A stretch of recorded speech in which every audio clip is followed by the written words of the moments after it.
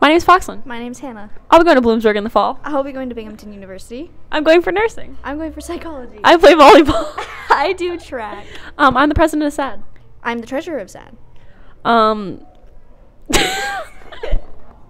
This is our podcast. This is our 30 second podcast. 60 second podcast. 60 second podcast.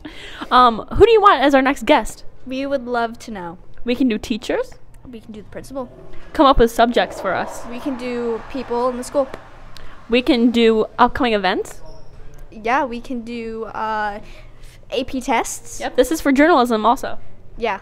We can show you how to prepare for AP tests. Any ideas are welcome. We can show you what prom is going to be like. Um, we can show you things you can wear to prom. Exactly. We can go over rules at our school, like dress code. Yeah, and we can go over cafeteria food. We can do whatever you want. Thank you. This has been 60 Seconds with Foxlynn and Hannah. Yes, goodbye.